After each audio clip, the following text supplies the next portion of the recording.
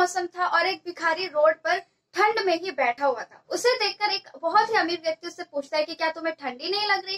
तो वो कहता है कि नहीं, मुझे अब इस चीज़ की आदत हो चुकी है। तो वो अमीर व्यक्ति उससे कहता है कि ठीक है, मैं अपने घर जाकर तुम्हारे लिए गर्म कपड़े लेकर आ जाता हूँ। और ये सुनकर वो गरीब व्यक्ति बहुत ही ज़्यादा खुश हो जाता है और फिर उसका वेट कर रहा होता है। वो अमीर व्यक्ति अपने घर जाता है और किसी काम में बिज़ी हो जाता है और उस बारे में बिल्कुल भूल जाता है। जब उसको अगली सुबह याद आती है उसके बारे में तो वो बाहर जाके देखता है तो वो गरीब व्यक्ति मर चुका होता है। साथ में उसने एक नोट छोड़ा होता है कि जब मेरे पास गर्म कपड़े नहीं थे तो मुझे ठंड को सहने की आदत थी। लेकिन जब आपने मुझसे प्रॉमिस किया तो मेरी, मैं उससे अटैच हो गया और मेरी जो शक्ति थी उस ठंड को बर्दाश्त करने की, वो खत्म हो चुकी थी। तो इस बात से हम यही सीखते हैं कि हम अगर किसी से भी कोई प्रॉमिस करते हैं तो उसे हमें पूरा ज़रूर करना चाहिए।